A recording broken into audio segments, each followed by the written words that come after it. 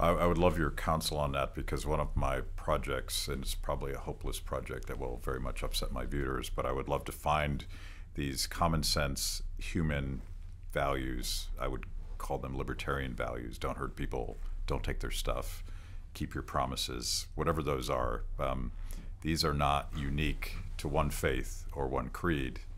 And I would love to find someone, uh, a classical liberal, who yeah. is who is Muslim. And I, I've I've met these folks at, at the Atlas Network and, and otherwhere, and I, would love to have that conversation. I mean, it, it, obviously you find individuals, but I mean that literally that was the prophet's last yeah. sermon. His lit, almost his last words on the on the earth were, "Your lives and your property is sacred," or as you've just put it, "Don't hurt people, don't take their stuff." And the the, the essence of, I mean, libertarianism is such a charged word, but but of of uh, a society that values the individual is simply extending that principle, isn't it? Right? So all of us in our own lives, I hope, try and yeah. apply the principle of don't hurt people, don't take their stuff, right?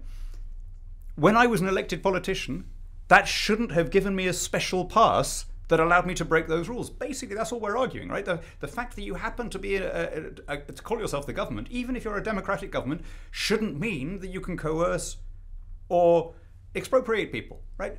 All, all we're arguing for is an extension of basic morality, and that, mm-hmm. that should be universal.